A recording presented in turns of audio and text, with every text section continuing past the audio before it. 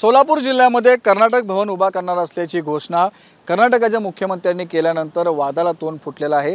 आणि जर सोलापूरमध्ये कर्नाटक भवन उभा राहत असेल तर बेळगावमध्ये महाराष्ट्र भवन उभा करायला जागा द्यावी. अशा प्रकारची मागणी संजय राऊत यांनी केलेली आहे. मात्र भवनचा आपण वाद पाहिला तर हे काय नवीन नाही आहे तर आधीच या ठिकाणी नवी मुंबईमध्ये कर्नाटक भवन हे उभा राहिलेलं आहे. त्यामुळे तुम्ही सध्या ही इमारत पाहता की या ठिकाणी ही कर्नाटक भवन ही इमारत उभा राहत आहे. आणि राज्य शासनाच्या माध्यमातून वाशी रेल्वे स्टेशनच्या समोर देशातल्या अनेक राज्यासाठी आहेत ते भवन उभा करण्यासाठी जागा देण्यात आली होती. त्यामुळे ज्या पद्धतीने ही कर्नाटक भवनची तुम्ही बिल्डिंग पाहताय याच बिल्डिंगच्या बाजूला आहे ते लागूनच राजस्थान भवन या ठिकाणी उभा राहिलेला आहे.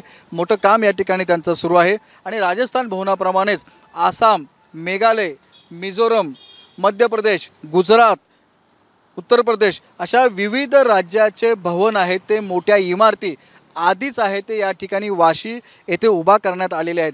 त्यामुळे त्या त्या राज्यातली जी लोक मुंबईमध्ये पर्यटकसाठी मत येतात नोकरीनिमित्त येतात व्यवसायानिमित्त येतात ते या भवनमध्ये येत असतात. त्यांना या ठिकाणी अत्यंत स्वस्तामध्ये राहायला मिळतं आणि इथून ते या शहरामध्ये आल्यानंतर ठाणा नवी मुंबई असेल किंवा मुंबईमध्ये जात असतात. त्यामुळे त्या त्या राज्यातल्या सरकारांनी आपली मोठमोठी भवन आहेत इमारती आहेत या ठिकाणी उभा केलेली आहेत.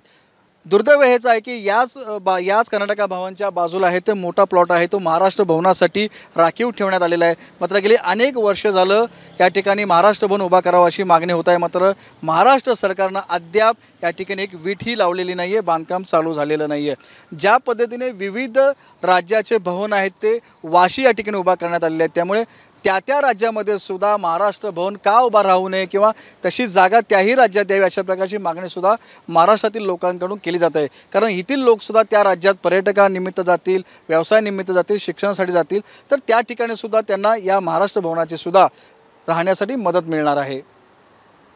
कॅमेरामॅन अजित जाधवसह विनायक पाटील एबीपी माझा नवी मुंबई. एबीपी माझा उघडा डोळे बघा नीट.